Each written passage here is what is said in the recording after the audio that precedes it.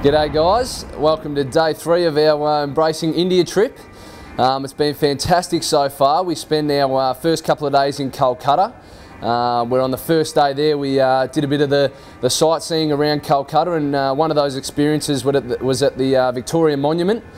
we actually had a footy when we were walking around there and it was quite funny that all the kids would flock to us um, wondering what this footy was. So uh, we ended up having a kick with a, a lot of the local kids and um, absolutely loved it. So that was a, a, great little experience when we were just lurking around. So uh, was good. And then we actually visited a, uh, an orphanage uh, which was set up by Mother Teresa.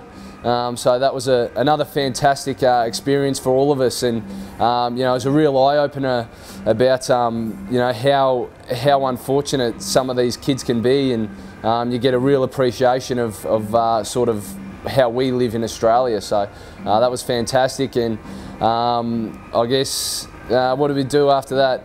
Day two, uh, trekked out to a uh, little village on the border, the Bangladesh border, um, and had a bit of a clinic with about 200 odd kids.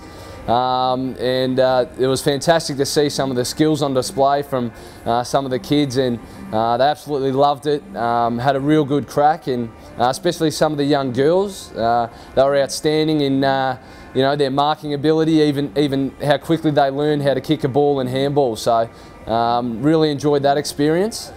For that clinic, uh, some of the guys actually travelled uh, for up to 10 hours from uh, around, right around India. And, um, you know, we think, you know, we, we trek up the road to training.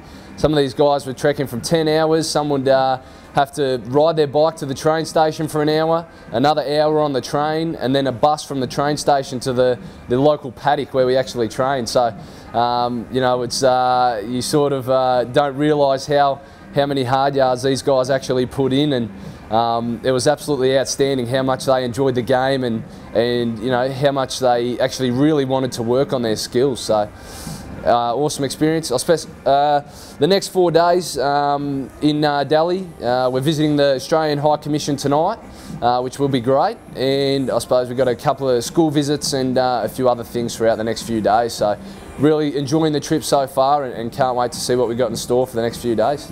Cheers, guys.